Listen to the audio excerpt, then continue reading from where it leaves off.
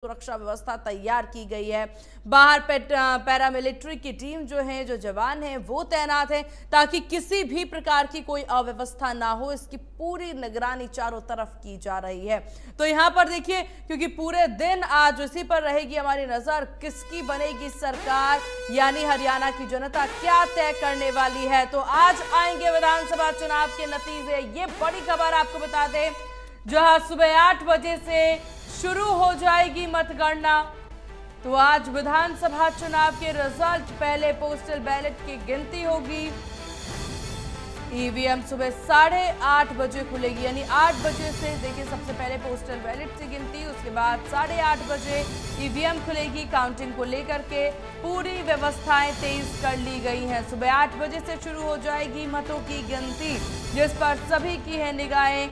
क्या जनता का है फैसला? किसके सरताज सजेगा और किसको जनता दरकिनार कर देगी, ये आज देखने वाली बात होगी। क्योंकि देखिए, मतदान के दिन जिस तरीके से परसेंटेज देखने को मिले हैं, उसके बाद अब सभी की निगाहें इसी बात पर टिकी है। 8 अक्टूबर, यानी आज के दिन, जनता क्या फैसला सुनाती है? बीजेपी, कांग्रेस या अन्य सभी दल किस प्रकार से अपना दमखम जो वो दिखाते नज़र आए, उसका असर कितना जनता पर पड़ा, जनता ने कितना उन्हें पसंद किया है, उस पर सबकी निगाहें जो हैं वो टिकी रहने वाली हैं। तो आज विधानसभा चुनाव के नतीजे आने हैं। इन नतीजों में क्या कुछ निकल कर सामने आएगा, ये देखने वाली बात होगी, क्योंकि आज जो दिन है, वो दिन है फैसलों का दिन। तो आज के इस दिन की पूरी तैयारी काफ़ी लंबे वक्त से चल रही है और इसी पर सबकी निगाहें टिकी हुई हैं। एग्जिट पोल के जो आंकड़े सामने आए हैं, उसके बाद से कांग्रेस ज़्यादा ही खुश नज़र आ रही है।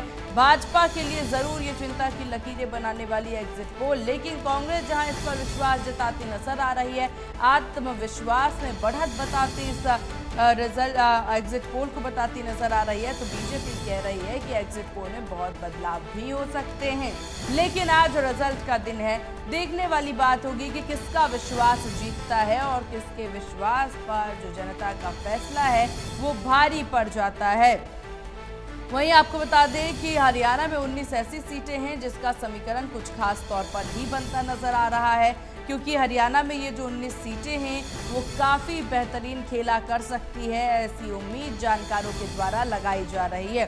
एक एग्जिट पोल एजेंसी के मुताबिक इन सीट को लेकर के एक तरह की जो आंकड़े सामने आए हैं, उसके बाद हर कोई इसको लेकर के कुछ लोग खुश हैं। तो कुछ लोग इन आंकड़ों को लेकर के चिंतित ज़रूर हैं। जहाँ देखे। बीजेपी कांग्रेस के बीच कांटे का मुकाबला, हालाँकि हर कोई ये जान रहा है इंडिया न्यूज़ के द्वारा भी इस एग्जिट पोल में बताया गया जो कड़ा मुकाबला है, वो भाजपा कांग्रेस के बीच में है। प्रदेश के कार्यवाहक सीएम नायब सैनी भी मान चुके हैं कि कुछ सीटों पर कड़ा मुकाबला था। उनका कहना है कि ये सीट हम जीत जाएँगे। देखिए, मुकाबला कड़ा है, लेकिन हम जीत जाएँगे। ये विश्वास ज़रूर यहाँ पर नायब सैनी जताते नज़र आए। तो हरियाणा की 90 सीटों पर 5 अक्टूबर को वोटिंग हुई थी। वोटों की गिनती 8 अक्टूबर यानी कि आज होगी। उससे पहले एग्जिट पोल्स जारी किए गए पोल्स ऑफ़ पोल्स के मुताबिक हरियाणा के 12 सर्वे में कांग्रेस की सरकार बनती हुई दिख रही है। वहीं पार्टी के को भी छप्पन सीटें मिलती हुई नज़र आ रही है। भाजपा बहुमत से काफ़ी दूर नज़र आ रही है। और ज़्यादा जानकारी के साथ ब्यूरो चीफ दीपक शर्मा लगातार हमारे साथ बने हुए हैं। दीपक, आज वो दिन है, हरियाणा के लिए महत्वपूर्ण, हम सभी के लिए महत्वपूर्ण ये दिन है। देखने वाली बात होगी कि जनता किसे पसंद करती है, जनता किसके सर पर सरताज यहाँ पर सजाती है और किसको दरकिनार करती है। कुछ ही घंटों का ये वक्त बचा है। जी, बिल्कुल, कुछ ही घंटों का वक्त बचा है। आठ बजे से मतगणना शुरू हो जाएगी। मतगणना की अगर बात की जाए तो हरियाणा की नब्बे विधानसभा को लेकर के जो पाँच तारीख को मतदान हुआ था प्रदेश के तकरीबन एक करोड़ पैंतीस लाख से अधिक मतदाताओं ने अपने मताधिकार का उपयोग किया था। हालाँकि यूँ तो आंकड़ा दो करोड़ तीन लाख चौवन हज़ार का ये आंकड़ा है, लेकिन एक करोड़ पैंतीस लाख से अधिक मतदाताओं ने अपने मताधिकार का उपयोग किया था। तकरीबन हम कह सकते हैं सत्तर प्रतिशत के करीब। और ऐसे में उन मतदाताओं द्वारा जो आज उम्मीदवारों की किस्मत लिखी गई थी, एक हज़ार इकतीस उम्मीदवार थे, जिनमें से तीन ने समर्थन दे दिया था। एंड वक्त पे तो ऐसे में एक हज़ार सत्ताईस उम्मीदवारों की अगर बात करें, साख दाव पर थी क्योंकि उम्मीदवारों के बाद अब जीत करके नब्बे आने वाले क्योंकि विधानसभाएँ नब्बे और ऐसे में उसको लेकर के अब से कुछ ही देर में मतगणना शुरू होगी आठ बजे से सबसे पहले बैलेट पेपर गिने जाएँगे। बैलेट पेपर जिसमें हमारे सैनिक हैं, जो कि सैनिक अगर बात करें, जो सेना में है, वो लोग बैलेट पेपर के ज़रिए वोट करते हैं। पुलिस कर्मी हो गए सरकारी कर्मचारी हो गए जिनके एक ज़िले से अन्य ज़िले में ड्यूटी है वो लोग बैलेट पेपर का इस्तेमाल करते हैं। आ, कुछ दिव्यांग लोग हैं बुज़ुर्ग लोग हैं जो कहीं जा नहीं सकते थे उनके लिए बैलेट पेपर की व्यवस्था थी। तो ऐसे लोगों के लिए बैलेट पेपर की जो व्यवस्था की गई है सबसे पहले वो बैलेट पेपर की जो गणना है वो की जाएगी आठ बजे। उसके बाद तकरीबन क्योंकि आधे घंटे का समय रखा गया है बैलेट पेपर को लेकर के और वो बैलेट पेपर की गणना के बाद ईवीएम की गणना स्टार्ट होगी यानी ईवीएम को गिनना शुरुआत की जाएगी। और हम पूरे प्रदेश भर की अगर बात करें तो तिरानवे 93 जो है आ, जो अगर बात करें तो काउंटिंग सेंटर्स जो है वो बनाए गए हैं। यूँ तो 90 विधानसभाएँ हैं लेकिन सतासी विधानसभाओं के एक एक काउंटर है, लेकिन तीन विधानसभाएँ ऐसी भी हैं, गुरुग्राम, पटौदी और हम बादशाहपुर की बात करें, जिनके दो दो काउंटिंग सेंटर हो जाते हैं। तो ऐसे में कुल तिरानवे काउंटिंग सेंटर जो है, वो बनाए गए हैं, जहाँ से, जहाँ मतगणना शुरू होगी अब से कुछ देर के बाद आठ बजे से मतगणना शुरू होगी, नतीजे जो है, वो सामने आने लग जाएँगे। और आज का दिन अहम भी है, क्योंकि अहम इसलिए है कि अब से पहले, चाहे भाजपा हो, और कांग्रेस हो, जेजेपी हो, इनैलो हो, एएसपी हो, बीएसपी हो, आम आदमी पार्टी हो सभी ने अपने अपने दावे और वादे किए थे। जहाँ हम अगर बात करें कांग्रेस की तो सात गारंटियाँ लेकर के आई थी। बीजेपी की बात करें तो बीस संकल्प लेकर के आई थी और इन तमाम दावों और वादों के बाद लोगों के बीच गए, अपनी बात रखी। लेकिन लोगों को, जनता को, प्रदेश के तमाम मतदाताओं को किस पर विश्वास है वो तकदीर आज स्पष्ट होगी। अगर बात करें वो आज तस्वीर सामने होगी कि किस पर विश्वास है। कि कौन आज अगर बात करें हरियाणा की विधानसभा में अब पहुंचेगा इस बार 2024 के इस रण में, वो तस्वीर आज से कुछ देर के बाद, आठ बजे के बाद वो तस्वीर धीरे धीरे स्पष्ट होने लग जाएगी, क्योंकि दावे वादे तो सभी के हैं, लेकिन मिलता किसको मौका है? जो जिस तरीके से अगर बात करें, भाजपा लगातार दस वर्षों से हरियाणा में थी, केंद्र में तीसरी बार एनडीए ने सरकार बनाई है। हरियाणा में तीसरी बार सरकार बनाने का दावा कर रही है। लेकिन क्या पब्लिक उनका साथ देती है, जनता उनका साथ देती है, कितनी सीटों पर देती है? ये भी देखा जाएगा। कांग्रेस की बात करें जो 10 वर्षों से अगर बात करें विपक्ष में थी अब सत्ता में आने की बात कर रही है क्या पब्लिक उनके साथ रहती है उनकी साथ गारंटियों को पसंद करती है? ये तमाम तस्वीरें धीरे धीरे आठ बजे के बाद लोगों के सामने होंगी। और इंडिया न्यूज़ हरियाणा पर सबसे पहले सटीक जानकारी हर जानकारी क्योंकि हमारी तमाम जो टीमें हैं तमाम हमारे सहयोगी हैं वो हरियाणा के सभी मतगणना केंद्रों पर सभी तिरानवे मतगणना केंद्रों पर मौजूद हैं। और सबसे पहले सटीक जानकारी के साथ हर जानकारी जो है लोगों तक पहुंचाई जाएगी। बिल्कुल और दीपक यहाँ पर आप चलिए वीआईपी सीटों की बात कर लें क्योंकि अभी यहाँ पर काउंटिंग में समय है और ऐसे में सीटों का आंकड़ा कर लेना भी बहुत ज़्यादा ज़रूरी है। यहाँ पर वीआईपी सीट में लाडवा सीट सबसे ज़्यादा महत्वपूर्ण मानी जा रही है। जब यहाँ पर नायब सैनिक की सीट बदल करके कुरुक्षेत्र के लाडवा से उन्हें खड़ा किया जाता है और यहाँ के वोटिंग ट्रेड पर अगर हम ध्यान दें कि ये देखा गया है कि जब भी यहाँ पर वोटिंग हुई है और वोट परसेंटेज कम हुई है तो जो पार्टी नई जो नया उम्मीदवार होता है, उसकी जीत ज़रूर होती है। 2019 में कांग्रेस की जीत यहाँ से हुई थी क्योंकि वोट परसेंटेज कम होके 83 से सीधे 75 पे आ गया था। इसके बाद इस बार भी परसेंटेज कुछ कमी देखने को मिल रही है तो क्या माना जा सकता है? फैसला नायब सैनिक के हक में हो सकता है क्या इस बार? देखिए, लाडवा की बात करें तो कार्यवाहक मुख्यमंत्री नायब सिंह वहाँ से चुनाव लड़ रहे हैं और उन्होंने चुनाव लड़ा है। लोगों ने वोट वोटिंग भी करी है अब कितना पक्ष में गए हैं तेज़ी तस्वीर सामने होगी, लेकिन जहाँ तक रिपोर्ट बता रही है कि रिपोर्ट कुछ बेहतर नज़र आ सकती है, रिपोर्ट कुछ पॉजिटिव नज़र आ सकती है, नायब सिंह सैनी को लेकर के। हालाँकि थोड़ी देर में तस्वीर आठ बजे के बाद स्पष्ट होगी, क्योंकि जो किस्मत है नायब सिंह सैनी की, वो ईवीएम की मशीन में कैद है। प्रदेश के मतदाताओं ने, लाडवा के मतदाताओं ने उसमें तय कर दी है। लेकिन जो रिपोर्ट बता रही है कि वो पॉजिटिव रह सकती है नायब सिंह सैनी के लिए, क्योंकि भारतीय जनता पार्टी ने उन्हें अपना मुख्यमंत्री का चेहरा जो है वो सामने रखा है। उनके चेहरे पर चुनाव उनको यहाँ पर लड़ा गया है। हालाँकि चौवन दिन का समय मिला, नायब सिंह सैनी को अब कार्यवाहक मुख्यमंत्री हैं, लेकिन अगर यहाँ बात करें कोई भी विधानसभा होगी, वहाँ पर एक विधायक के साथ साथ अब उनको लगता है कि अगर सरकार आई तो वो मुख्यमंत्री मिलेगा उनको विधायक के साथ साथ। तो ये कहीं ना कहीं लोग इस बात को लेकर के ज़रूर मुड़ सकते हैं। हालाँकि तस्वीर थोड़ी देर के बाद सामने होगी, क्या कांग्रेस के उम्मीदवार को मौका मिलता है या बीजेपी से नायब सिंह को ये मौका मिलता है, वो तस्वीर धीरे धीरे सामने होगी। इसी तरीके से कई और विधानसभाएँ बात करें हरियाणा के पूर्व मुख्यमंत्री भूपेंद्र सिंह हुडा जो कि किलोई विधानसभा से चुनाव लड़ रहे हैं लगातार वहाँ से विधानसभा में रहे हैं। अगर हम बात करें तो इस बार भी काफ़ी अच्छा मुकाबला और उनके लिए भी अपनी विधानसभा में पॉजिटिव नज़र आ रहा है। आ, क्योंकि उनकी तो जब उन्होंने अप्लाई करा था जब दावेदार की बात करें ढाई हज़ार से ज़्यादा दावेदार थे तो उनकी विधानसभा से किसी और ने कांग्रेस से अप्लाई नहीं किया था। हालाँकि सामने बीजेपी के कैंडिडेट अब उनके सामने चुनाव लड़ रहे हैं, अन्य कैंडिडेट भी है, लेकिन पॉजिटिव भूपेंद्र सिंह हुडा के लिए नज़र आ रहा है।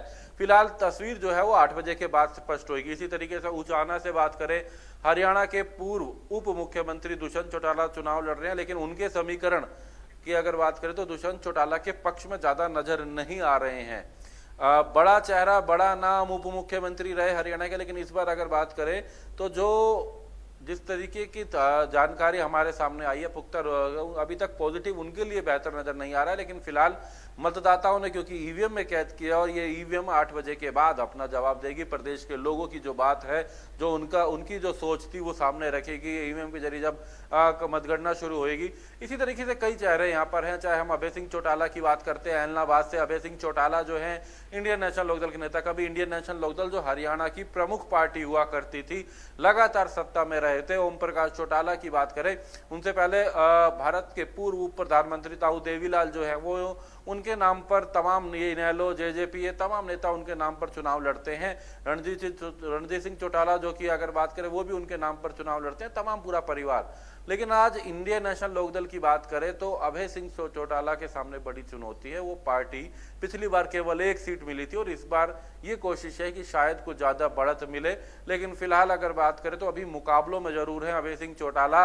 उनके बेटे अर्जुन चौटाला जो है वो मुकाबले में ज़रूर हैं। उनके समझी अगर बात की जाए तो वो भी क्योंकि चुनाव लड़ रहे हैं, लेकिन यहाँ पर फ़िलहाल तस्वीर आठ बजे के साथ सामने आएगी। तो लगातार कई बड़े चेहरे, कई बड़े लोग जिनको लेकर के लोगों की तमाम लोगों की नज़र रहेगी और भी कई बड़े ऐसे नाम है बिल्कुल दीपक सबकी निगाहें इसी बात पर टिकी रहेगी लेकिन इसी बीच बड़ी खबर सामने आ रही है। इस वक्त की बड़ी खबर आपको बता दे मतगणना से जुड़ी हुई इस वक्त की बड़ी खबर सामने आ रही है। काउंटिंग को लेकर के सुरक्षा के कड़े इंतज़ाम किए गए हैं। सेंटर के बाहर पैरामिलिट्री के जवान तैनात कर दिए गए हैं। 100 मीटर के दायरे में धारा 144 लागू कर दिया गया है। तो वहीं काउंटिंग को लेकर के सुरक्षा के कड़े इंतज़ाम किए गए हैं। तो ये बड़ी जानकारी जहाँ काउंटिंग को लेकर के सुरक्षा व्यवस्था चाक चौबंद है। मतगणना पर सबकी निगाहें टिकी हुई हैं क्योंकि आज नब्बे विधानसभा के रुझान जो है वो सामने आने वाले हैं और इस पर सबकी निगाहें टिकी हुई हैं। और चलिए फरीदाबाद से सहयोगी देवेंद्र कौशिक हमारे साथ लगातार बने हुए हैं। देवेंद्र, फरीदाबाद से क्या कुछ अपडेट बड़ी सामने आ रही है मतगणना को लेकर? बिल्कुल देखिए, आज हरियाणा के लिए राजनीतिक तौर पर बड़ा दिन है और अहम दिन है, क्योंकि आज काउंटिंग हो रही है, जो पाँच तारीख को मतदान हुआ, उसके आज मतगणना होनी है।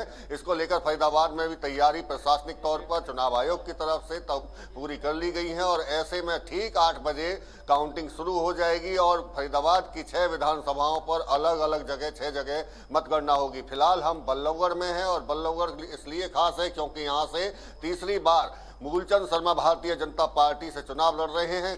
2019 से 2024 तक वो कैबिनेट मंत्री रहे। उनके सामने निर्दलीय तौर पर शारदा राठौर, जो दो बार की विधायक कांग्रेस से और पूर्व मुख्य संसदीय सचिव भी रही हैं, वो निर्दलीय तौर पर चूँकि उनको कांग्रेस की तरफ़ से टिकट नहीं दिया गया था तो वो मैदान में दलीय उतर गई थी। और ऐसे में कांग्रेस की तरफ़ से पराग शर्मा और अन्य निर्दलियों की आज किस्मत का पिटारा खुलने जा रहा है। और फ़िलहाल हम वही हैं जो काउंटिंग सेंटर फरीदाबाद, बल्लभगढ़ में बनाया गया है। मैं आपको तस्वीर दिखा देता हूँ अंदर की क्योंकि अंदर जाना अलाउ नहीं है, इसलिए बाहर से हम तस्वीरें दिखाने की कोशिश कर रहे हैं कि अंदर किस तरह की तैयारी की गई है। अंदर तैयारी चौदह टेबल लगाई गई है। चौदह टेबल पर जो कर्मचारी है, जो काउंटिंग का स्टाफ है, वो बैठेगा। इसके साथ साथ में जो काउंटिंग एजेंट है, यानी कि प्रत्याशियों की तरफ़ से जो एजेंट नियुक्त किए गए हैं। उनके लिए भी बाकायदा बैठने की व्यवस्था की गई है, लेकिन अंदर कॉपी, पेन ही ले जाया जा सकता है। मोबाइल पूरी तरह से प्रोविटेड है, क्योंकि मोबाइल अंदर कोई भी इलेक्ट्रॉनिक आइटम अंदर नहीं जाएगा। और तैयारी पूरी तरह से कर ली गई है। मैं एक बार गेट की तरफ़ की अगर तस्वीर दिखाऊँ, पुलिस की,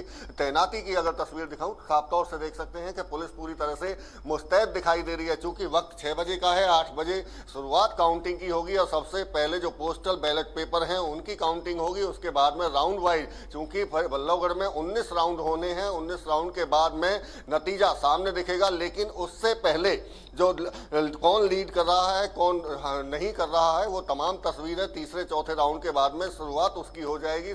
तस्वीरें सामने आनी शुरू हो जाएँगी लेकिन आज फरीदाबाद की छह विधानसभाओं के लिए भी महत्वपूर्ण दिन है और हरियाणा के लिए तो महत्वपूर्ण है ही है। और फरीदाबाद के अगर तमाम तस्वीरों की अगर बात करें पूरे छह विधानसभाओं की तो बल्लभगढ़ का जैसे हम ज़िक्र कर रहे हैं उसी तरह से फरीदाबाद विधानसभा में जो पूर्व कैबिनेट मंत्री रहे हैं, विपुल गोयल भारतीय जनता पार्टी की तरफ़ से, उनको टिकट दिया गया है तो वहीं कांग्रेस की तरफ़ से लखन सिंगला चुनावी मैदान में है, तीसरी बार वो चुनाव लड़ रहे हैं।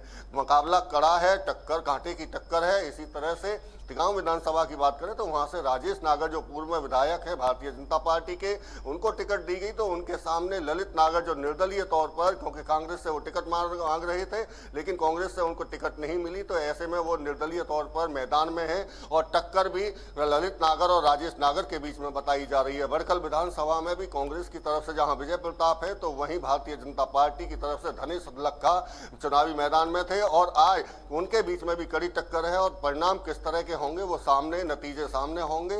एनआईटी विधानसभा में भी जो विधायक हैं, मौजूदा विधायक निवर्तमान कांग्रेस के नीरज शर्मा, उनके सामने भारतीय जनता पार्टी की तरफ़ से सतीश फागना को मैदान में उतारा गया, लेकिन वहाँ निर्दलीय तौर पर नगेंद्र भड़ाना भी चुनाव मैदान में तो कह सकते हैं कि त्रिकोणीय मुकाबला एनआईटी विधानसभा में भी देखने को मिलेगा। प्रथला विधानसभा की बात कर लेते हैं, वहाँ भी त्रिकोणीय मुकाबला है। चूँकि निवर्तमान जो विधायक हैं, नयनपाल रावत निर्दलीय तौर पर विधानसभा में पहुँचे थे, विधायक बने थे 2019 में, और इस बार भारतीय जनता पार्टी की तरफ़ से टिकट मांग रहे थे, लेकिन उनको टिकट नहीं दी गई। तो वो निर्दलीय लड़ रहे तो वहीं भारतीय जनता पार्टी की तरफ़ से टेकचंद शर्मा और कांग्रेस की तरफ़ से रघुवीर तेवतिया है। तो यानी कह सकते हैं कि त्रिकोणीय मुकाबला वहाँ भी होने जा रहा है। जी। बिल्कुल, और इन त्रिकोणीय मुकाबलों में और जिस तरह का समीकरण आप बताते नज़र आए इस बीच एक बार फिर से हम मतगणना की सुरक्षा व्यवस्थाओं पर आ जाते हैं, क्योंकि आपने यहाँ पर जानकारी ज़रूर दी है कि यहाँ पर किस तरीके से रूल रेगुलेशन फॉलो किया जाएगा। देवेंद्र, बस कुछ ही समय का ये वक्त बचा हुआ है और उसके बाद जो है लगातार मतों की गिनती जो है वो शुरू हो जाएगी। जो दावे, जो वादे किए गए, उन तमाम चीज़ों के रिज़ल्ट आज आ जाएँगे। ऐसे में आपके आसपास काफ़ी ज़्यादा सुरक्षा व्यवस्था देखने को मिल रही है। ज़रा उनसे जानने की कोशिश करें मतगणना को लेकर के और क्या, किस तरह की व्यवस्थाएँ की गई हैं उनके द्वारा। बिल्कुल, देखिए, कड़ी सुरक्षा व्यवस्था तमाम जो काउंटिंग सेंटर है फरीदाबाद के, उन पर की गई है। 200 मीटर के दायरे में किसी भी तरह का व्हीकल्स आने की पूरी तरह से मनाही है। अगर किसी को भी आना है, चाहे काउंटिंग से जुड़ा हुआ व्यक्ति हो, चाहे वहाँ से निकलने वाला वो, केवल पैदल ही वहाँ से जा सकता है। और ऐसे में देखिए, यहाँ तमाम तरह की जो सुरक्षा व्यवस्था, मैं एक बार आपको फिर दिखा देता हूँ कि किस तरह की व्यवस्था जिस गेट पर हम खड़े हैं, यहाँ से केवल यहाँ प्रत्याशी जो कैंडिडेट है, जो चुनावी मैदान में था, उसी की एंट्री होगी। और उसके पास में भी बाकायदा चुनाव आयोग की तरफ़ से जो आई कार्ड दिए गए हैं, वो आई कार्ड दिखाकर ही अंदर एंट्री कर सकता है। लेकिन उससे पहले कुछ कई राउंड की चौथी थ्री लेयर सुरक्षा पहले ही की गई थी तो इसी को आप मद्देनजर, चूँकि गेट काफ़ी दूर है और गेट पर ही पूरी तरह से उनके नाम नंबर नोट किए जा रहे हैं, जो अंदर काउंटिंग सेंटर में आना चाहता है। ये जिसके पास में आई कार्ड है तो उसके पहले वहाँ नोट किए जा रहे हैं, उसके बाकायदा आई कार्ड देखे जा रहे हैं। तो ये तमाम तरह की सुरक्षा व्यवस्था की गई और पैरा मिलिट्री फोर्स जो तैनात की गई थी, फरीदाबाद में ग्यारह कंपनियाँ उनकी तैनात की गई थी तो वो भी यहाँ तैनात की गई हैं और ये आप देखेंगे तो सुरक्षा कर्मी जितने भी हैं बैठे हुए दिखाई देंगे। बात भी करने की कोशिश करेंगे। विनोद जी क्या यहाँ से कौन जा सकता है? भाई साहब इसके बारे में हम कोई कमेंट नहीं कर सकते। सॉरी फॉर दिस नहीं कमेंट तो नहीं। अगर कोई जाना चाहे तो जा सकता है क्या इस, इस गेट से नहीं इस गेट से केवल कैंडिडेट अलाउ है और कोई अलाउ नहीं है यहाँ से। कैंडिडेट के पास में कोई आई कार्ड होना ज़रूरी है या कैसे जाएगा? वो क्या पहचान बताएगा अपनी? हाँ आइडेंटिटी कार्ड उनका होगा बाकी बाकायदा मेन गेट से भी उनको चेकआउट करके ही एंट्री होगी यहाँ तक। बिल्कुल आप देखिए समझ सकते हैं साफ़ तौर से कि जो अगर अंदर आना चाहेगा कैंडिडेट की भी बाकायदा पहले गेट पे एंट्री होगी। गेट पे एंट्री होने के साथ साथ में वो आई कार्ड अपना सामने पुलिस के सामने दिखाएँगे। उसके बाद में ही उसे अंदर आने की अनुमति होगी। ऐसे में तमाम जो स्टाफ है कर्मचारी हैं उनकी भी बाकायदा ठीक। देवेंद्र, क्योंकि यहाँ पर आपने सुरक्षा व्यवस्था दिखा दी है, समीकरण पर भी हम बात कर रहे थे लगातार। यहाँ अगर वोटों की काउंटिंग की बात हो रही है तो पाँच अक्टूबर को जो मतदान हुए हैं, उसमें जो मत प्रतिशत रहा है, वो फरीदाबाद में काफ़ी ज़्यादा कम देखा गया है। छप्पन प्रतिशत के आसपास वोट पड़े हैं। तो ऐसे में क्या समझा जा सकता है? इस कम वोटिंग से किसको फ़ायदा पहुँचता नज़र आएगा और किसको नुकसान? बिल्कुल निश्चित तौर से देखिए, जब अगर सत्ता के परिवर्तन की बात आती है तो ऐसे में मतदान को कहा जाता है कि मतदान काफ़ी प्रतिशत उसका बढ़ा हुआ होता है। लेकिन फरीदाबाद में चूँकि ट्रेंड इस तरह का रहा कि लोकसभा में भी तमाम चुनाव आयोग की कोशिशों के बाद में बहुत ज़्यादा मत प्रतिशत नहीं बढ़ा, और इसी तरह का ट्रेंड विधानसभा के चुनावों में भी देखने को मिला है। कोशिश लगातार ज़रूर की गई थी, तमाम तरह से मतदाताओं को अपील की गई थी जिला प्रशासन की तरफ़ से भी या चुनाव आयोग की तरफ़ से भी। लेकिन जिस तरह का यहाँ मतदान हुआ, वो कहीं ना कहीं चौंकाने वाला था, क्योंकि काफ़ी बेहद कम मतदान प्रतिशत रहा है। तो ऐसे में अगर समीकरणों की बात करें, राजनीतिक तौर पर इसके प्रभाव की बात करें तो जिस तरह कहा जाता है कि अगर ज़्यादा मतदान होता है तो सत्ता परिवर्तन के लिए होता है। लेकिन साउथ हरियाणा के अगर देखें तो हम भारतीय जनता पार्टी जिस तरह से 2019 में यहाँ से काफ़ी संख्या में विधायक चुनकर गए थे तो ऐसे में समझा जा सकता है कि हो सकता है कि भारतीय जनता पार्टी को दक्षिण हरियाणा में लाभ मिलता हुआ दिखाई दे। फरीदाबाद की भी अगर लोकसभा की बात करें तो 2019 में सात विधानसभाओं पर भारतीय जनता पार्टी की तरफ़ से जीत दर्ज की गई थी जबकि कांग्रेस की तरफ़ से मात्र एक विधायक जो एनआईटी से हैं नीरज शर्मा वो जीतकर यहाँ से गए थे जबकि एक निर्दलीय के तौर पर जो प्रथला विधानसभा से नैनपाल रावत हैं वो यहाँ से जीतकर गए थे। तो नौ की नौ विधानसभाओं में भारतीय जनता पार्टी को बढ़त मिलती हुई दिखाई दी थी। लेकिन इस बार देखना होगा कि दो हज़ार चौबीस में किस तरह के समीकरण होते हैं चूँकि अब से कुछ ही देर में गिनती शुरू हो जाएगी और करीब दस बजे के करीब करीब रुझान से भी पता चलना शुरू हो जाएगा कि आखिर भारतीय जनता पार्टी क्या अपने 2019 के इतिहास को दोहरा पाती है या जिस तरह से दावे कांग्रेस की तरफ़ से किए जा रहे हैं कि पूर्ण बहुमत की सरकार कांग्रेस बनाने जा रही है तो इसमें फरीदाबाद और पलवल किस तरह से उसका मतदाताओं का कांग्रेस के प्रति रुझान दिखाई दिया है कितना भारतीय जनता पार्टी के प्रति रुझान दिखाई दिया है तो ये आने वाले कुछ ही घंटों में पता चलने जा रहा है। बिल्कुल सबकी निगाहें इसी पर देवेंद्र टिकी हुई है सुरक्षा व्यवस्था हो या फिर यहाँ पर मतों की गिनती की तैयारी और पूरी व्यवस्थाएँ देखने को मिल रही हैं। सीसीटीवी की निगरानी भी है और ठीक पाँच अक्टूबर को ही भी ऐसी ही तस्वीरें नज़र आई थी। फरीदाबाद में भी एक विवाद सामने आया था देवेंद्र, क्योंकि अगर हरियाणा में पाँच अक्टूबर की बात कर ली जाए, यहाँ पर कुछ विवाद जो है अलग अलग जगहों से अलग अलग बूथों सामने आए थे। ठीक ऐसा ही एक विवाद फरीदाबाद से भी सामने आया था, जब बीजेपी के और दूसरे कुछ कार्य, लोगों के द्वारा बीजेपी कार्यकर्ता या नेता को गोली मारी गई थी। उसके बाद उनकी स्थिति कैसी है और साथ ही साथ इस बार ऐसी कोई स्थिति उत्पन्न ना हो मतगणना के समय पर, इसकी तैयारियों पर भी जरा जानकारी दें।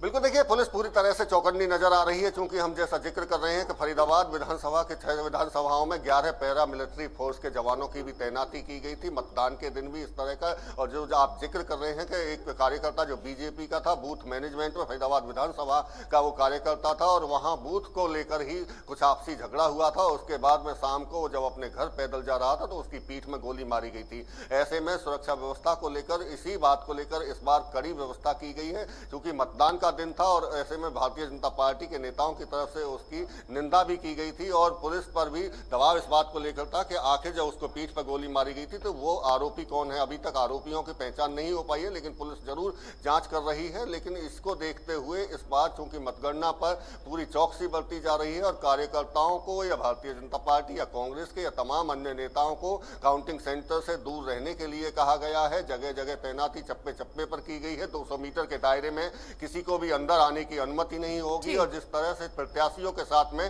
समर्थक नारेबाजी या हो हुल्लड़ करते हैं तो उसको भी मना किया गया है पुलिस की तरफ़ से और तमाम तरह से चाहे सीआईडी हो चाहे अन्य जवान हो वो पूरी तरह नज़र बनाए हुए हैं। तो कोशिश यही है पुलिस की कि शांतिपूर्ण तरीके से जिस तरह से मतदान हुआ उसी तरह से मतगणना भी हो। तो तमाम जितने भी प्रत्याशी हैं उनसे पहले ही कहा गया है कि वो अपने समर्थकों को काउंटिंग सेंटर के आसपास ना आने दें। तो ये तमाम तरह की कोशिशें पुलिस की तरफ़ से भी है, चुनाव आयोग की तरफ़ से भी अपील की गई है। जी।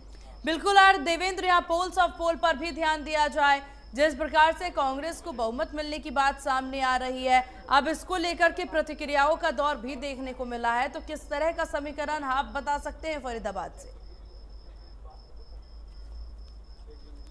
देखिए, अगर फरीदाबाद के समीकरण की बात करें तो फरीदाबाद विधान फरीदाबाद की छह विधानसभाओं में जो जिस तरह से टिकट वितरण हुआ, टिकट वितरण को लेकर भी नाराज़गी कई जगह देखने को मिली, चाहे भारतीय जनता पार्टी की बात हो, चाहे कांग्रेस की तरफ़ से, और इसी के चलते यहाँ निर्दलीय प्रत्याशी भी मैदान में उतरे। तिगाम विधानसभा की अगर हम बात कर लेते हैं तो ललित नागर, जो कि दो में यहाँ से विधायक बनकर कांग्रेस की तरफ़ से गए थे, और उन्नीस में वो तैयारी जिस तरह उनकी की गई, उनकी तरफ़ से की गई थी तो ऐसे में उम्मीद उन्हें पूरी थी कि उनको कांग्रेस की तरफ़ से टिकट दिया जाएगा, लेकिन उन्हें टिकट नहीं मिला। ऐसे में वहाँ से उन्हें निर्दलीय प्रत्याशी के तौर पर मैदान में उतरना पड़ा है। वही राजेश नागर, जो बीजेपी से विधायक हैं, उनको एक बार उन पर भारतीय जनता पार्टी की तरफ़ से भरोसा जताया गया और उन्हें दूसरी बार वो मैदान में भारतीय जनता पार्टी की तरफ़ से है। तो लेकिन मुकाबला कड़ा है, कम, टक्कर कड़ी है और ऐसे में देखना होगा कि कौन वहाँ से जीत दर्ज कराता है। हालाँकि जो दावा है वो कांग्रेस की तरफ़ से भी है, भारतीय जनता पार्टी की तरफ़ से भी है कि वो यहाँ सत्ता। बिल्कुल देवेंद्र आपके पास आएँगे इस बीच मतगणना से जुड़ी है बड़ी खबर सामने आ रही है आपके पास वापस आएँगे इस वक्त की बड़ी खबर मतगणना से जुड़ी हुई आपको बता दें वोट काउंटिंग को लेकर के ये अहम जानकारी सामने आ रही है। आज का दिन हरियाणा के लिए महत्वपूर्ण जहाँ रिज़ल्ट ब्रेकिंग आपको बता दें हरियाणा के विधानसभा चुनाव के नतीजे आ जाने हैं इस वक्त की बड़ी खबर आज नतीजों का ये दिन है डेढ़ घंटे बाद शुरू हो जाएगी वोटों की गिनती। काउंटिंग सेंटर के बाहर सुरक्षा के कड़े इंतज़ाम किए गए हैं। अर्धसैनिक बलों की तैनाती की गई है। हमारे सहयोगी के द्वारा तस्वीरें भी लगातार दिखाई जा रही है, जहाँ सुरक्षा को लेकर के व्यवस्थाएँ चाक चौबंद है।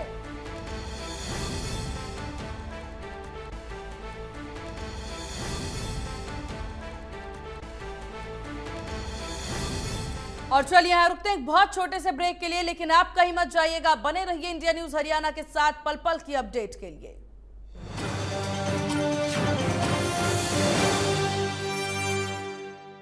काफ़ी डैमेज हो गई। नो प्रॉब्लम मैंने पॉलिसी बाज़ार को बुला लिया। सर कार का रिपेयर और क्लेम सेटलमेंट सब हम संभाल लेंगे। इतनी जल्दी? काफ़ी महँगा कार इंश्योरेंस लिया होगा। काफ़ी सेव किया पॉलिसी बाज़ार से। पॉलिसी बाज़ार पे कार इंश्योरेंस कंपेयर करके आठ हज़ार रूपए तक बचाओ जिसकी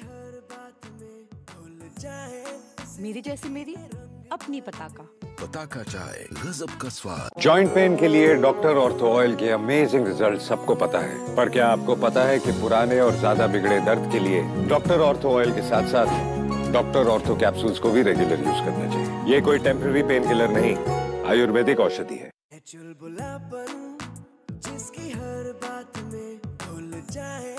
मेरी जैसी मेरी अपनी पताका पताका चाय गजब का स्वाद। सर आप बहुत लकी हैं कि आपके बेटे ने हेल्थ इंश्योरेंस और बाकी सारी फॉर्मेलिटीज टाइम से पूरी कर दी है। मेरा बेटा? तो फिर आप? पॉलिसी बाज़ार क्लेम के टाइम पे हमेशा आपकी हेल्प को तैयार। पॉलिसी बाज़ार एक करोड़ का हेल्थ इंश्योरेंस सिर्फ़ तीन सौ नब्बे रूपए महीने ऐसी शुरू। जिसकी हर बात में भूल जाए मेरी जैसी मेरी अपनी पताका। पताका चाय गजब का स्वाद। डॉक्टर ऑर्थो ऑयल के रेगुलर मसाज से जॉइंट हेल्थी रहते हैं। और अगर प्रॉब्लम बहुत पुरानी है तो डॉक्टर ऑर्थो कैप्सूल्स साथ लेना ना भूलें। अब दर्द भी घुटने टेकेगा। वो मिस्टर विकास की फ़ाइल आप? पॉलिसी बाज़ार मैम आपका हेल्थ इंश्योरेंस क्लेम अप्रूव हो गया है। अब आप सर को घर ले जा सकती हैं। क्लेम के टाइम पे हमेशा आपकी हेल्प को तैयार। पॉलिसी बाज़ार एक करोड़ का हेल्थ इंश्योरेंस सिर्फ़ तीन सौ नब्बे रूपए महीने से शुरू। जिसकी हर बात में भूल जाए। मेरी जैसी मेरी अपनी पताका। पताका चाय गजब का स्वाद। घुटना कंधा या कमर चाहे जैसा हो दर्द। डॉक्टर ऑर्थो आपको देता है दर्द से पूरी आज़ादी। ये कोई टेम्पररी पेन किलर नहीं। आयुर्वेदिक औषधि है। अरे ऋषि आज स्कूल नहीं गए? तीन महीने से फ़ीस नहीं भर पाई तो निकाल दिया स्कूल ने। कहीं आपके बाद आपके बच्चों के सपने न टूट जाएँ। आज ही लीजिए पॉलिसी बाज़ार पे दो करोड़ का टर्म लाइफ इंश्योरेंस सिर्फ़ छह सौ नब्बे रूपए महीने से शुरू। जॉइंट पेन के लिए डॉक्टर ऑर्थो ऑयल के अमेजिंग रिज़ल्ट सबको पता है। पर क्या आपको पता है की पुराने और ज़्यादा बिगड़े दर्द के लिए डॉक्टर ऑर्थो ऑयल के साथ साथ डॉक्टर ऑर्थो कैप्सूल्स को भी रेगुलर यूज़ करना चाहिए। ये कोई टेम्पररी पेन किलर नहीं। आयुर्वेदिक औषधि है। सर आप बहुत लकी हैं कि आपके बेटे ने हेल्थ इंश्योरेंस और बाकी सारी फॉर्मेलिटीज टाइम से पूरी कर दी है। मेरा बेटा?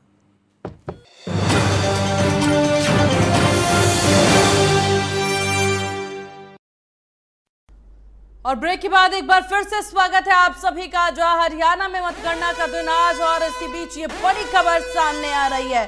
तो इस वक्त की ये बड़ी खबर विधानसभा चुनाव के बाद अब रिज़ल्ट की घड़ी है। हरियाणा विधानसभा चुनाव के नतीजे आज आने हैं, जहाँ आपको बता दें, डेढ़ घंटे बाद शुरू होगी वोटों की गिनती। इस वक्त की बड़ी खबर आपको बता दें, काउंटिंग सेंटर के बाहर सुरक्षा के कड़े इंतज़ाम भी कर लिए गए हैं।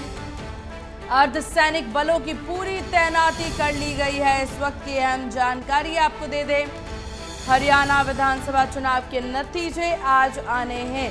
और चलिए तमाम जानकारी अपडेट के साथ यहाँ हमारी सहयोगी कनिका कटियार हमारे साथ बनी हुई हैं। कनिका, यहाँ आज मतगणना का दिन है, काफ़ी महत्वपूर्ण यह दिन है और आप आज इस वक्त कहाँ पर मौजूद हैं? पहले ये जानकारी दें और साथ ही साथ किस तरह का समीकरण बैठता नज़र आएगा, ये भी बताएँ।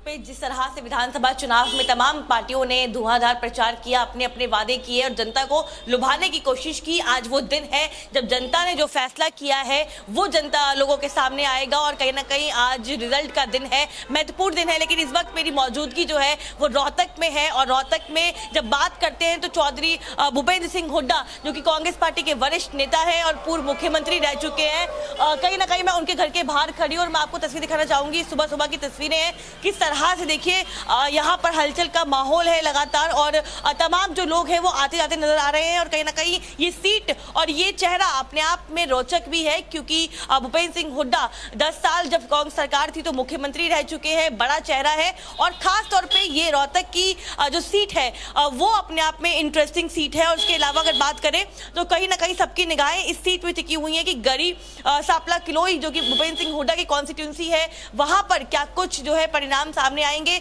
और आज नब्बे विधानसभा सीटों के जो परिणाम है वो जनता के सामने आएँगे। जिस तरह से एग्जिट पोल में कांग्रेस को एक अच्छा नंबर मिला है और कांग्रेस पार्टी आगे जाती हुई नज़र आई है उसके बाद आज वो दिन है जब नतीजों का दिन है और जो फैसला जनता ने किया है वो सबके सामने आएगा। लेकिन उससे पहले मैं इस वक्त जो है भूपेंद्र सिंह हुड्डा के घर के बाहर खड़ी हूँ। आमतौर पर वो सुबह सुबह जो है वो यहाँ से मॉर्निंग वॉक के लिए निकलते हैं लेकिन हलचल जो है वो आप समझ सकते हैं किस तरह से तमाम जो लोग हैं, वो यहाँ पे मौजूद हैं और कहीं ना कहीं आज का वो दिन है जब ये तय होगा कि किसकी किस्मत चमकने वाली है। बिल्कुल और कनिका आप यहाँ पर मौजूद हैं और आपके पीछे की जो चहलकदमी है, वो भी देखी जा सकती है। कुछ देर में ज़रूर यहाँ से और भी बेहतरीन तस्वीरें नज़र आएगी, जहाँ पोल्स ऑफ़ पोल में जो रिज़ल्ट सामने आया है, उसके बाद कांग्रेस काफ़ी ज़्यादा खुश है। कनिका एक बार एक छोटा सा समीकरण पर ध्यान दे दे, क्योंकि जिस तरीके से वोटिंग हुई है इस बार, ज़रूर ही वोट प्रतिशत में कमी देखने को मिली है। पिछले दो चुनावों से 2014 हो 2019 हो, हुड्डा की जीत हुई थी,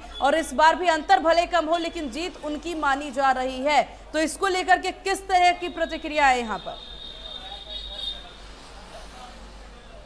देखिए, बिल्कुल 2014 की बात करें 2019 की बात करें, जो वोटिंग परसेंटेज है, वो कहीं ना कहीं कम था, लेकिन इस बार लगभग अड़सठ सिक्सटी परसेंट जो है वोटिंग परसेंटेज रहा और हमने देखा कि इस चुनाव में कई मुद्दे थे। तमाम पार्टियों ने अपने अपने वादों के साथ चुनावी प्रचार किया कांग्रेस ने अपनी सात गारंटी को प्रोजेक्ट किया, बीजेपी ने अपने दस साल के विकास को आगे रखा, केंद्र की योजनाओं को आगे रखा और तमाम इन मुद्दों पर कहीं ना कहीं अलग अलग पार्टियों ने चुनाव लड़ा है। लेकिन अब वो दिन है आज का, जब रिज़ल्ट सामने आएगा और तय होगा कि जनता ने किसको किसके वादों को स्वीकार किया है और किसके साथ जाने का फैसला जो है आगे आने वाले पाँच सालों में किया है। और स्पेशली अगर बात करें चौधरी भूपेंद्र सिंह हुड्डा की बड़ा चेहरा है अपने आप में पूर्व में मुख्यमंत्री रह चुके हैं। कांग्रेस के पुराने नेता है कद्दावर नेता है और कहीं ना कहीं हमने देखा कि पूरे चुनाव में भूपेंद्र सिंह हुड्डा का एक चेहरा जो है वो प्रबल तौर पर देखने को मिला है। और कांग्रेस के पार्टी के भीतर एक बड़ा सवाल ये भी है क्योंकि अगर सरकार बनती है तो मुख्यमंत्री कौन होगा? तो कहीं ना कहीं भूपेंद्र सिंह हुड्डा भी मुख्यमंत्री की रेस में है और एक बड़ी जो चुनौती है, वो पार्टी के सामने है। हालाँकि रिज़ल्ट के जब रुझान आना शुरू होंगे, उसके बाद ही ये सब कुछ तय हो पाएगा कि किस तरफ़ जो है माहौल जा रहा है, क्या नतीजे हैं, क्या कुछ है। लेकिन कांग्रेस पार्टी की बात करें तो जो एग्जिट पोल का नतीजे आए थे, उसमें कांग्रेस पार्टी को हरियाणा में बढ़ोतरी मिलती हुई नज़र आई थी और दिख रहा था कि साफ़ तौर पर कांग्रेस पार्टी जो है, वो मेजोरिटी के साथ अपनी सरकार बनाती हुई नज़र आ रही है। और यही कांग्रेस के नेताओं का दावा भी है कि वो साठ से अधिक सीटें लेके आएँगे। हालाँकि जब रिज़ल्ट आएगा तो अपने आप में जो तस्वीरें हैं वो साफ़ हो जाएँगी। लेकिन चौधरी भूपेंद्र सिंह हुड्डा की बात करें तो पार्टी के वरिष्ठ नेता है और कहीं ना कहीं एक महत्वपूर्ण भूमिका जो है वो पूरे चुनाव में देखने को मिला है। और कांग्रेस पार्टी की बात करें तो केवल कांग्रेस आप सीधे यहाँ पर भूपेंद्र सिंह हुड्डा के घर के बाहर मौजूद हैं। तस्वीरें आपके पास सबसे पहले और सबसे बेहतरीन ज़रूर आती नज़र आएँगी और तस्वीरों पर भी बात करेंगे। लेकिन एक बार ज़िक्र यहाँ पर भाजपा उम्मीदवार की भी कर ले, जिस तरह से मंजू हुड्डा की बात की जाए तो वो भी ये माना जा रहा था कि वो भी एक कड़ी टक्कर दे सकती है मंजू हुड्डा। लेकिन यहाँ पर हमेशा से जब भूपेंद्र हुड्डा की जीत होती आई है, मंजू हुड्डा के लिए ये बहुत बड़ी चुनौती है। क्या लग रहा है कितना मुकाबला वो दे पाई हैं इस बार? देखिए, बिल्कुल कहीं ना कहीं बीजेपी के जो उम्मीदवार हैं मंजू हुड्डा, उन्होंने भी बहुत अच्छा प्रदर्शन किया है। लेकिन ये भूपेंद्र सिंह हुड्डा की पुरानी सीट है, वो लगातार यहाँ से कई बार जो है विधायक चुनते आए हैं और यहाँ के जो लोग हैं, यहाँ के जो समीकरण हैं, वो अपने आप में डिफरेंट समीकरण देखने को मिलते हैं। और कोई दो राय नहीं है कि भूपेंद्र सिंह हुड्डा की जब जीत होती है, चाहे वो इस दस साल जब सरकार रही, उस समय की बात करें और उससे पहले की, दो हज़ार चौदह की, दो हज़ार उन्नीस की बात करें तो कहीं ना कहीं जो परिणाम आते हैं, वो ही दिखाते हैं कि ये कांग्रेस का गढ़ है और खास तौर पे इस सीट पे कांग्रेस जो है सबसे ज़्यादा मजबूती के साथ पिछले कई सालों से चुनाव लड़ती आई है, भूपेंद्र सिंह हुड्डा जीतते आए हैं। बीजेपी ने भी बहुत कोशिश की है इस सीट पे अच्छा प्रदर्शन करने की। हालाँकि क्या कुछ नतीजे सामने आएँगे, उसका हमें और दर्शकों को इंतज़ार करना होगा। लेकिन भूपेंद्र सिंह हुड्डा अपने आप में एक बड़ा चेहरा है और उनकी सीट भी इसीलिए अपने आप में हॉट सीट हो जाती है, क्योंकि कांग्रेस यहाँ पे लगातार पिछले कई सालों से जीतती आई है और ये सीट भी दिलचस्प है। देखना ये दिलचस्प होगा कि यहाँ पर क्या कुछ मार्जिन रहता है जीत का, हार का उसके अलावा किस तरह से नतीजे जो है वो सामने आते हैं। बिल्कुल, और हुड्डा देखिए बार बार ये बोलते भी नज़र आए हैं शुरू से ही कि पूर्ण बहुमत के साथ कांग्रेस की वापसी होगी। लोकसभा के जो रिज़ल्ट हमने देखे, उसके बाद कांग्रेस जो है और भी ज़्यादा कॉन्फिडेंस में आई है। रणनीतियों में बड़ा बदलाव कांग्रेस के अंदर देखने को मिला। अंतर कलह को शांत करते हुए नज़र आए। तो एक एक कदम पर जो चुनौतियाँ कांग्रेस को मिली है, ज़रूर ये देखा गया है कनिका यहाँ पर कि कांग्रेस उन चुनौतियों से उभरती नज़र आई है। और इसमें भूपेंद्र हुड्डा का जो सहयोग रहा है, जो उनका जिस तरह की पर्सनैलिटी रही है, उसे हम इग्नोर नहीं कर सकते हैं। देखिए, बिल्कुल साफ़ तौर पे भूपेंद्र सिंह हुड्डा की जो अपने आप में एक खासियत है और एक जो पर्सनालिटी है, वो सबको पता है। और कहीं ना कहीं कांग्रेस क्या, बल्कि पूरे हरियाणा को पता है कि वो जो है किस तरह की राजनीति करते हैं। और उसके अलावा अगर भूपेंद्र सिंह हुड्डा की बात करें तो देखिए, इस चुनाव में उनसे कई बार पूछा गया कि मुख्यमंत्री आप बनने वाले हैं, क्या आप जो है, चेहरा होंगे यहाँ पे मुख्यमंत्री के रूप में? तो उन्होंने हमेशा इस बात का दावा किया और बल्कि नतीजों से एक दिन पहले तक वो ये बोलते आए हैं कि ना वो टायर्ड है, ना वो रिटायर्ड हैं तो कहीं ना कहीं वो एक बड़ा स्टेटमेंट जो है वो उनकी ओर से आता है। और कांग्रेस पार्टी की बात करें तो बिल्कुल तमाम मुद्दे, चाहे वो कांग्रेस की साथ गारंटी हो, चाहे कांग्रेस की वादे हो, उसके अलावा बीजेपी की एंटी इनकम्बेंसी का मामला हो, लेकिन उससे भी ज़्यादा महत्वपूर्ण ये था कि जिस तरह से कुमारी सैलजा और भूपेंद्र सिंह हुड्डा के बीच का जो अंतर कलय था, जो कहीं ना कहीं जग ज़ाहिर हो रहा था और बीजेपी उसका फ़ायदा उठाने की कोशिश कर रही थी। कांग्रेस ने उसको भी बहुत अच्छे से मैनेज करने की कोशिश की। आपको याद होगा, लास्ट मोमेंट पे राहुल गांधी का हरियाणा में प्रचार करना, हुड्डा और सैलजा का एक साथ मंच पे होना और एक तस्वीर दिखाना कि सब कुछ ठीक है ऑल इज़ वेल तो कहीं ना कहीं कांग्रेस के लिए बहुत चैलेंजेस इस चुनाव में आए हैं, लेकिन कांग्रेस पार्टी ने इन तमाम चैलेंजेस को जो है आराम से पूरा किया। राहुल गांधी ने एकता की तस्वीर जो है वो बार बार अलग अलग मंच से देने की कोशिश की। यात्रा के दौरान भी राहुल गांधी यही बोलते रहे कि ये सरकार बनेगी तो कांग्रेस की सरकार बनेगी, सभी की सरकार बनेगी। तो बिल्कुल चैलेंज बहुत थे कांग्रेस पार्टी के सामने लेकिन बीजेपी की 10 साल की एंटी इनकम्बेंसी जो है कांग्रेस का एक कांग्रेस के लिए एक बड़ा मुद्दा था। इसके अलावा तमाम मुद्दे चाहे वो विकास का मुद्दा हो महँगाई का मुद्दा हो बेरोजगारी का मुद्दा हो किसान का मुद्दा हो ये तमाम मुद्दे कांग्रेस पार्टी ने आराम से उठाए और पूरा स्थानीय मुद्दों पे चुनाव जो है वो देखने को मिला। तो कांग्रेस की ओर से तमाम तरह की जो रणनीति है वो प्लान की गई थी और कहीं ना कहीं उस रणनीति में कांग्रेस सक्सेसफुल होती हुई नज़र भी आई है। जिस तरह की जो एग्जिट पोल के रुझान है उनके सामने आने के बाद ये महसूस किया गया है। लेकिन अब आज रिज़ल्ट का दिन है इंतज़ार आपको और हमें और दर्शकों को करना होगा कि क्या कुछ नतीजे जो है वो सामने आते हैं। कांग्रेस जिस नंबर को क्लेम कर रही है क्या उस नंबर को वो टच कर पाती है या मामला फंस जाता है? बिल्कुल और हरियाणा का ट्रेड भी अगर देखा जाए जिस तरीके से खनिका हमेशा से ट्रेंड रहा है 2005 की बात कर ली जाए तो 2005 में इकहत्तर प्रतिशत से ज़्यादा वोटिंग होती है और उसके बाद आईआरएलडी को बदल करके कांग्रेस पूर्ण बहुमत के साथ सत्ता में आ जाती है। फिर अगले चुनाव की बात कर ली जाए 2009 में कांग्रेस प्रदर्शन अच्छा करती है, हालाँकि जीत का आंकड़ा पार करने के लिए उन्होंने और बहुमत पाने के लिए उन्होंने सात निर्दलियों को अपनी पार्टी में शामिल किया। सात निर्दलियों के साथ मिलकर के उसके बाद वो चुनाव बनाते हैं। यहाँ अपनी सरकार बनाते हैं।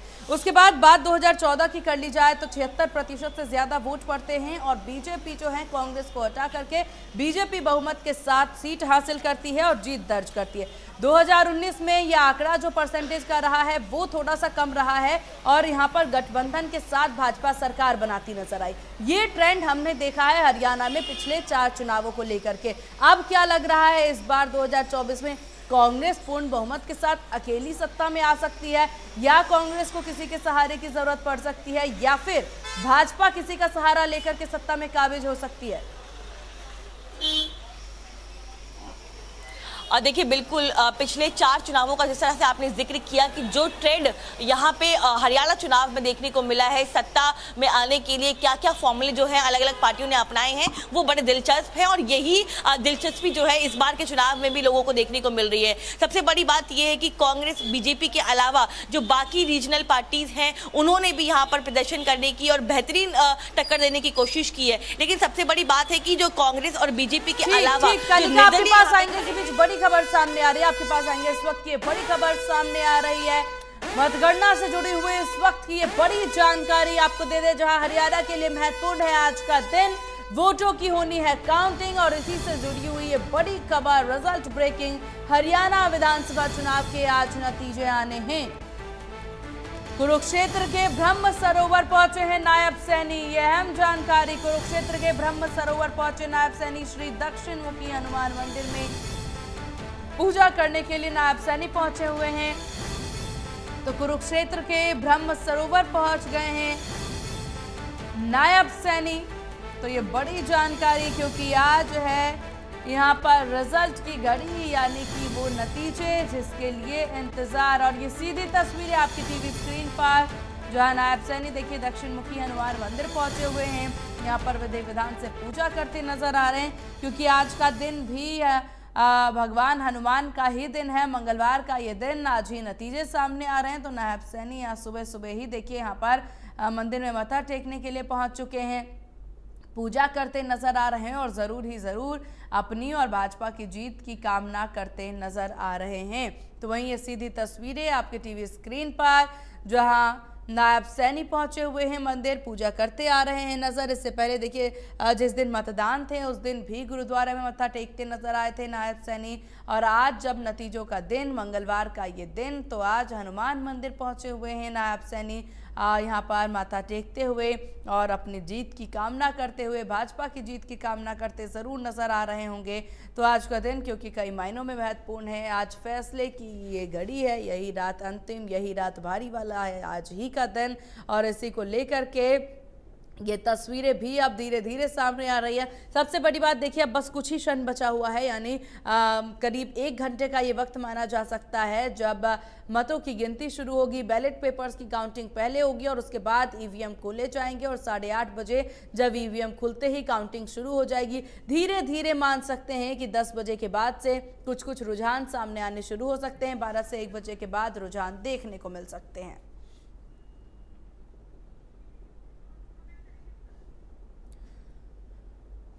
तो रुझानों का आज दिन और आज ही के दिन के लिए ये पूरी तैयारियाँ भी नज़र आ रही हैं।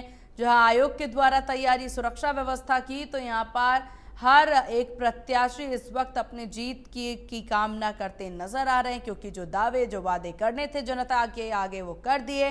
वोटरों ने अपना काम पाँच अक्टूबर को कर दिया और आज है वो दिन जो वोटरों ने क्या, किस तरीके से अपना मत सुनाया है, अपना फैसला सुनाया है तो उस फैसले की घड़ी आज है और उसके लिए पूरी तैयारी यहाँ पर राजनीतिक दलों के द्वारा भी नज़र आ रहे हैं। धीरे धीरे चहलकदमियाँ भी शुरू हो जाएँगी, जहाँ सबसे पहली तस्वीर भी सामने आ चुकी है।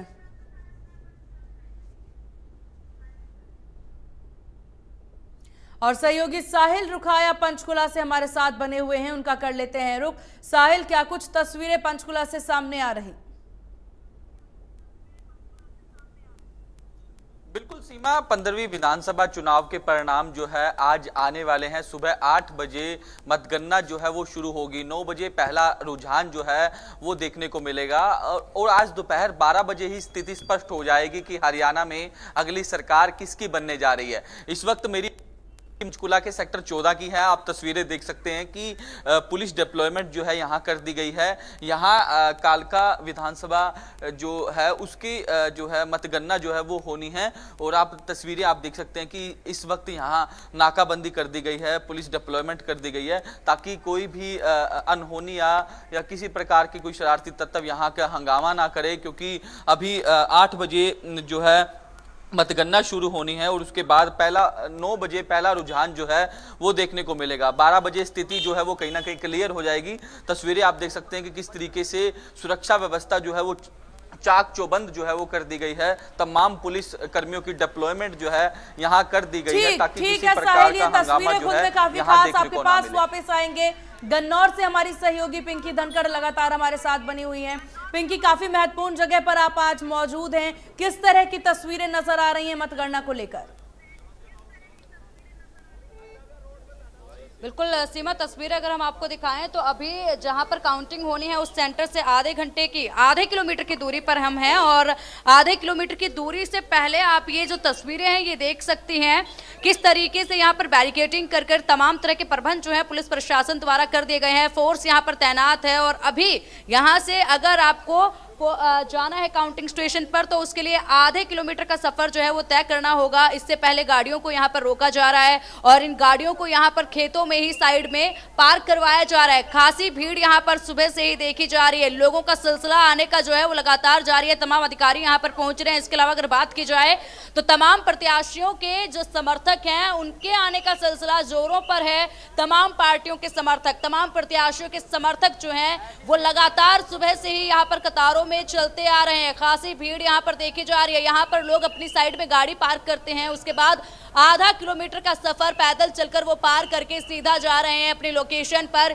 ये तस्वीरें आप देखिए बैरिकेटिंग कर दी गई है और ये ना केवल अभी यहाँ पर बैरिकेटिंग है, बल्कि इससे पहले भी कई जगह पर पीछे भी बैरिकेटिंग जो है इस पूरे रास्ते पर की गई है। और ये गाड़ियाँ देखिए, दोनों तरफ़ जो सड़क है, उसके दोनों तरफ़ गाड़ियों की लंबी कतारें भी हैं और साथ ही साथ इन गाड़ियों को खेतों में पार्क करवाया जा रहा है। पुलिस प्रशासन पूरी मुस्तैदी के साथ यहाँ पर अलर्ट है। अब ये तस्वीरें आपको दिखाएँगे जहाँ पर भीड़ जो है आपको जाती हुई नज़र आएगी। ये भीड़ आप देखिए, बिल्कुल उसके आगे जाकर जो है वहाँ पर मतगणना होनी है। उस लोकेशन पर लोग यहाँ से पहुँच रहे हैं और पैदल अपनी गाड़ियों को खड़ा करके ये कतारें जो आप देख रहे हैं, ये समर्थकों की कतारें हैं सीमा और इसी के साथ अगर बात कर ली जाए तो कड़ा मुकाबला यहाँ पर देखा गया है और ये वही स्टेशन है जहाँ पर पूरे सोनीपत डिस्ट्रिक्ट के जो तमाम विधानसभा सीट है उनकी मतगणना होने वाली है। और अब महज कुछ ही देर में एक घंटे का समय बचा है जिसके बाद मतगणना जो है वो शुरू हो जाएगी और रुझान आने भी धीरे धीरे बिल्कुल, बिल्कुल, उसके बाद शाम तक ये तस्वीर पूरी तरह से साफ़ हो जाएगी।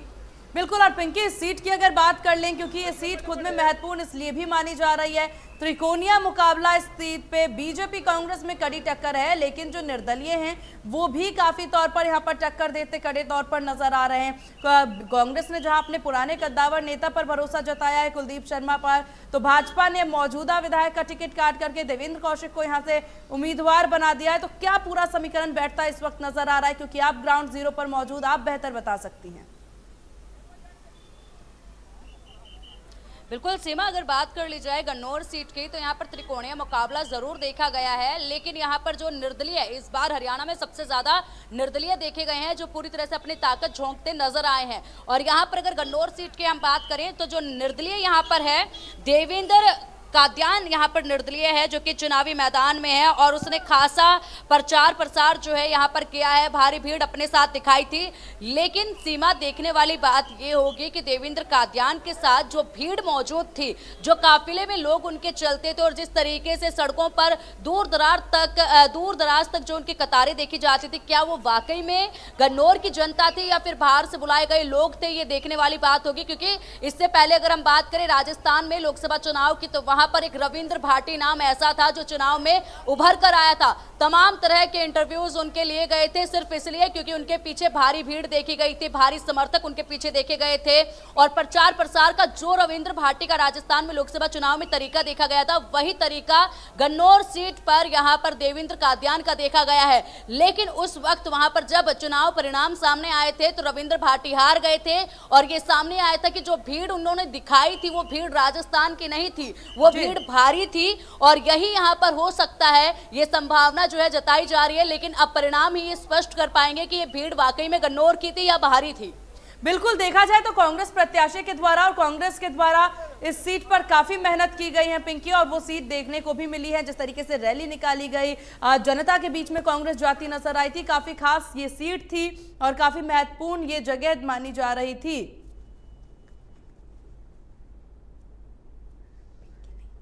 चलिए आपका बहुत शुक्रिया पिंकी तमाम जानकारी और तस्वीरें साझा करने के लिए। तो जहाँ इस सीट की एक एक सीट की हम बात करते नज़र आ रहे हैं, हमारे तमाम सहयोगी ग्राउंड ज़ीरो से हमारे साथ बने हुए हैं और वो जानकारियाँ भी साझा करते नज़र आ रही हैं। जहाँ आपको बता दें कि अब यहाँ पर विधानसभा चुनाव की रिज़ल्ट की बारी है और इस पर सभी की निगाहें टिकी हुई हैं कि ये रिज़ल्ट किस तरीके से सामने आ सकते हैं। हरियाणा की 90 विधानसभा सीट के लिए आज यानी कि मंगलवार के दिन सुबह आठ बजे से काउंटिंग शुरू हो जाएगी। 22 जिलों में तिरानवे काउंटिंग सेंटर बनाए गए हैं। बादशाहपुर, गुरुग्राम और पटौदी विधानसभा सीट की काउंटिंग के लिए दो दो सेंटर और बाकी सतासी सीटों के लिए एक एक सेंटर बनाया गया है। पाँच अक्टूबर को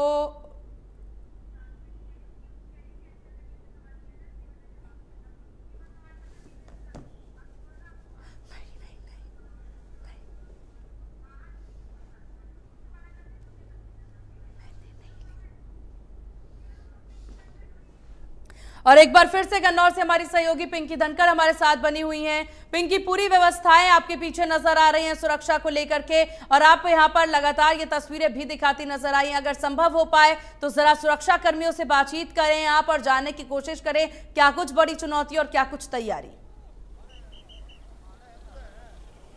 बिल्कुल सीमा, अगर बात कर ली जाए तो अभी फ़िलहाल जो व्यवस्था यहाँ पर बनी हुई है, जिस तरीके से समर्थकों का आने का सिलसिला जारी है, ऐसे में जो यहाँ पर सुरक्षाकर्मी तैनात हैं, वो किसी भी कीमत पर बात करने के लिए राज़ी नहीं होंगे, क्योंकि फ़िलहाल उन्हें जो है अपनी व्यवस्था को दुरुस्त रखना है। अगर बात यहाँ पर की जाए भीड़ की तो भीड़ आप देख सकते हैं। गाड़ियों की चेकिंग भी की जा रही है, पूछताछ की जा रही है, उनको आगे नहीं दिया जा रहा है। और उसी के अलावा इन खेतों में आप ये गाड़ियों की कतारें देखिए, जो सुबह से ही बढ़ती हुई नज़र आ रही है। दूर दराज तक ये गाड़ियाँ जो है यहाँ पर खड़ी हैं। लोग अपनी गाड़ियों को यहाँ पर खड़े करके आगे बढ़ रहे हैं और ये समर्थक है तमाम पार्टियों के, ये समर्थक है तमाम प्रत्याशियों के। इसके अलावा अगर सीमा बात कर ली जाए तो कन्नौर सीट वो सीट है जहाँ पर कांग्रेस के जो प्रत्याशी हैं कुलदीप शर्मा जी, जो कि 2000 आ, अगर बात की जाए 2014 में वो जीत कर जनता के बीच में पहुँचे थे 2004 में 2009 में भी वो जीत कर जनता के बीच में पहुँचे थे और उस वक्त जो उन्होंने काम किए थे वो काम जो है गन्नौर की जनता याद करते हुए नज़र आई क्योंकि मुझे बिल्कुल अच्छे से याद है लगातार यहाँ पर एक महीने से मैं चौपाल कर रही हूँ और कई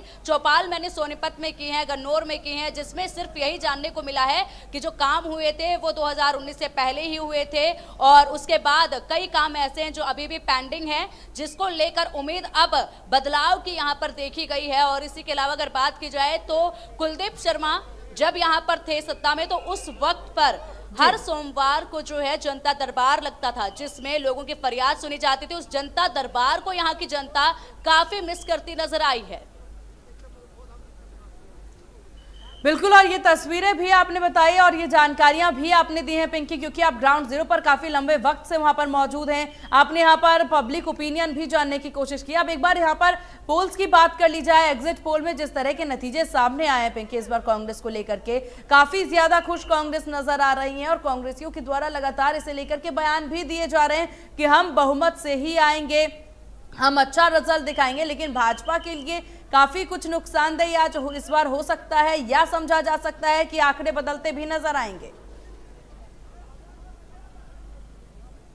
बिल्कुल, सीमा अगर देखी जाए तो देखिए एग्जिट पोल लोकसभा चुनाव में जब आए थे, उस वक्त भी वो एग्जिट पोल जो है सटीक नहीं थे और उसके बिल्कुल उलट नतीजे जो हैं वो सामने निकल कर आए थे और इस बार जो हरियाणा का एग्जिट पोल दिखाया जा रहा है, उसको लेकर भी हम पूरी तरह से ये नहीं कह सकते कि जो एग्जिट पोल में नतीजे दिखा दिए गए हैं, पूरी तरह से यहाँ पर कांग्रेस की बल्ले बल्ले कर दी गई है। कांग्रेस इसलिए काफ़ी खुश भी है और ओवर कॉन्फिडेंस भी नज़र आ रही है, जिस तरीके का कॉन्फिडेंस कांग्रेस ने पहले दिखाया था कि हम आम आदमी पार्टी के साथ गठबंधन नहीं करेंगे और अकेले ही अपने हम्म। दम पर चुनाव जो है वो जीत लेंगे ये कॉन्फिडेंस तब आया था जब लोकसभा चुनाव में कांग्रेस ने पाँच सीटें हासिल कर ली थी और बीजेपी ने पाँच सीटें हासिल की थी और कड़ी टक्कर का मुकाबला देखा गया था लेकिन अब यहाँ पर विधानसभा चुनाव में अलग अलग तरह के जो इलाके हैं, अगर बात कर ली जाए जीटी करनाल रोड की, जीटी करनाल बेल्ट की।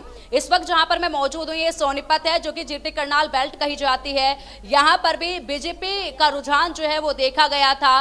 गन्नौर की अगर बात की जाए तो गन्नौर में प्रत्याशी को देखकर जिस तरीके से लोगों की प्रतिक्रियाएँ सामने आई है तो यहाँ पर ये सीट अलग हो सकती है। इसी तरीके से अगर हम जज्जर बादली की तरफ़ के बेल्ट की बात करें तो वहाँ पर कांग्रेस का रुझान जो है वो खासा देखा गया है। अलग अलग साइड में अलग अलग रुझान देखे गए हैं और ऐसे में जो अभी एग्जिट पोल की आप बात कर रही हैं, वो भी बिल्कुल स्पष्ट हो जाएगा। महज कुछ घंटों का वक्त है, उसके बाद रुझान आने शुरू हो जाएँगे और ये तस्वीर जो है धीरे धीरे करके साफ़ होती चली जाएगी कि जो एग्जिट पोल ने इस बार नतीजे दिखाए हैं। लोकसभा चुनाव में तो एग्जिट पोल जो है, वो पूरी तरह से सही साबित नहीं हुआ था, लेकिन विधानसभा चुनाव, हरियाणा विधानसभा चुनाव में एग्जिट पोल ने जो नतीजे दिखाए हैं, क्या वो वाकई में उसी तरीके से आते हैं, या फिर कुछ फेर बदल बड़ा जो है इस एग्जिट पोल के नतीजों में इस बार भी देखा जाएगा। ये तस्वीर अभी मैच कुछ ही देर में स्पष्ट होती जाएगी क्योंकि काउंटिंग जो है कुछ ही देर में शुरू होने वाली है। उसके बाद रुझान आने का सिलसिला भी जो है वो देखा जाएगा। उससे पहले तस्वीरें आपको दिखा रहे हैं। लोगों की वो भीड़ जो है उस तरफ़ आप देख रहे हैं। जाती हुई भीड़ नज़र आ रही है जहाँ पर एक के बाद एक लोगों का जाने का सिलसिला जो है काफ़ी तेज़ी के साथ बढ़ता जा रहा है। और आ, सीमा अगर बात कर ली जाए तो सुबह सवेरे से ही हम लोग यहाँ पर मौजूद हैं और पाँच बजे से ही ये तस्वीरें लगातार हम यहाँ पर देख रहे हैं। जब हम यहाँ पर पहुँचे थे सुबह पाँच बजे से ही ये नज़ारा यहाँ पर बना हुआ है और ये गाड़ियों की जो तादाद है वो लगातार बढ़ती जा रही है और अब चारों तरफ़ लगातार सिर्फ़ समर्थकों के आने का सिलसिला जारी है, जिसके लिए पुलिस प्रशासन ने भी पूरी कमर कसी हुई है। गाड़ियों की चेकिंग करी जा रही है। यहाँ पर एक बैरिकेटिंग की गई है, उसके पीछे भी एक बैरिकेटिंग की गई है, क्योंकि अब जो ये संख्या है लोगों की, समर्थकों की, वो बढ़ती हुई जाएगी और जैसे जैसे रुझान आने लगेंगे वैसे वैसे जश्न का माहौल भी देखा जाएगा, क्योंकि रुझान जिस तरफ़ आएँगे, उसी तरफ़ के जो समर्थक है, वो जश्न मनाते हुए भी नज़र आएँगे। लेकिन जो पूरी तस्वीर साफ़ होगी, वो शाम तक ही हो पाएगी। जब पूरी तरह से रुझान जो है वो सामने आ जाएँगे, उसके बाद ये तस्वीर सामने हो पाएगी और एग्जिट पोल इस बार कितना सही रहा हरियाणा विधानसभा चुनाव को लेकर, ये भी स्पष्ट हो जाएगा। बिल्कुल, और आपके आसपास काफ़ी चहलकदमी नज़र आ रही है, क्योंकि आप सिर्फ़ एक घंटे का वक्त बचा हुआ है, पिंकी। ऐसे में तस्वीरें काफ़ी कुछ खास हो जाएँगी। पार्टी कैंडिडेट भी पहुँचेंगे यहाँ पर, जहाँ मतों की गिनती होगी, ताकि वो भी जानकारी दे पाए। किस लेयर की सुरक्षा व्यवस्था यहाँ पर है, जरा ये भी जानकारी साझा करें। बिल्कुल आप देख सकते हैं, पहले इधर की तरफ़ एक बैरिकेटिंग की गई है और उससे पहले आगे भी एक बैरिकेटिंग जो है वो देखी जा रही है। देखिए, पहले एक बैरिकेटिंग है, उसके बाद एक बैरिकेटिंग है। दो बैरिकेटिंग की लेयर ये है और उसके बाद तीरी तीसरी बैरिकेटिंग जो है वो ठीक मेरे पीछे यहाँ पर देखी जा रही है और यहाँ पर आप देख सकते हैं, एक लाइन में जो जवान है, वो तैनात हैं कि किसी भी तरह से किसी भी गाड़ी को तो आगे नहीं जाने दिया जा रहा है। साथ ही साथ जो पैदल लोग जा रहे हैं, उनसे भी पूछताछ जो है खासी की जा रही है। लोगों के गले में जो है उनकी आईडी कार्ड है और किस विभाग से वो ताल्लुक रखते हैं, वो आईडी कार्ड है जो समर्थक हैं उनको भी थोड़ी पूछताछ करके ही आगे जाने दिया जा रहा है। आप पीछे देखिए, हर जगह पर थोड़े थोड़े कदमों की दूरी पर ही पुलिस और फोर्स जो है वो खड़ी है, जो कि तमाम गाड़ियों पर नज़र बनाए हुए है। सीमा, खास बात यहाँ पर यह है कि जो अधिकारी आ रहे हैं गाड़ियों में, सरकारी गाड़ियों में जो अधिकारी आ रहे हैं, वो अधिकारी भी अपनी गाड़ी जो है वो आगे नहीं ले जा सकते हैं। उन अधिकारियों की गाड़ी भी जो है यहाँ पर साइड में ही पार्क करवाई जा रही है। उसके बाद अधिकारी भी यहाँ से पैदल चलकर आगे जा रहे हैं। उनकी गाड़ी को भी यहाँ पर रुकवा लिया जा रहा है। जैसे हम दिखा दें आपको एसडीएम की ये कार आई है और एसडीएम की कार हो सकता है कि आगे जाए और आप देखिए सिलसिला जो है तमाम बड़े अधिकारियों का लगातार यहाँ पर जारी है। एसडीओ एसडीएम की एक कार है जो कि आगे जाने की अनुमति नहीं मिली है और उसके पीछे ही एसएचओ की कार भी आप देख पा रहे हैं। इसके अलावा कई ऐसी सरकारी कारें आई हैं यहाँ पर जिनको साइड में ही खड़ा करवा दिया गया है और इनकी भी पूरी तरीके से आप देख सकते हैं कितनी लेयर की यहाँ पर जो है चेकिंग यहाँ पर की जा रही है और काफिला लगातार जारी है। वीडियोग्राफी यहाँ पर इन काफिलों की करवाई जा रही है। यहाँ पर आप देख सकते हैं, हर आने जाने वाली कारों पर बारीकी से तो नज़र रखी जा रही है वीडियोग्राफी भी उनकी करवाई जा रही है। उसके अलावा ये बैरिकेटिंग जो है ये काफ़ी दूर से ही देखी जा रही थी। ये कोई एक बैरिकेटिंग नहीं है पीछे ही रूट डाइवर्ट कर दिया गया था। बिल्कुल ये तमाम तस्वीरें और बेहतरीन तस्वीरें आप लगातार दिखा रही हैं। ग्राउंड ज़ीरो पर आप मौजूद हैं आप बने रहिएगा और भी जानकारियाँ और तस्वीरें आपसे साझा करते हुए आप नज़र आएँगे। तो यहाँ पर पूरी तैयारी विधानसभा चुनाव के रिज़ल्ट को लेकर के और इस वक्त हमारे साथ वॉर रूम से हमारे सहयोगी आयुष चित्रांश बने हुए आयुष ओवर टू यू तो बिल्कुल आज है काउंटिंग का दिन और आज का इंतज़ार हरियाणा की जो जनता है वो बड़ी बेसब्री के साथ कर रही है, या फिर आप यूँ कह सकते हैं कि लोकतंत्र के उस महापर्व का आज रिज़ल्ट आने वाला है, जिस पर हरियाणा की जनता ने क्या सोचा है, आज हरियाणा की जनता उस पर मुहर लगाएगी। तो एक एक काउंटिंग सेंटर से एक एक अपडेट हम आप तक पहुंचाते रहेंगे, लेकिन एक बड़ी खबर का इस बीच रुक कर लेते हैं। सबसे पहले बड़ी जानकारी आप तक पहुँचा रहे हैं।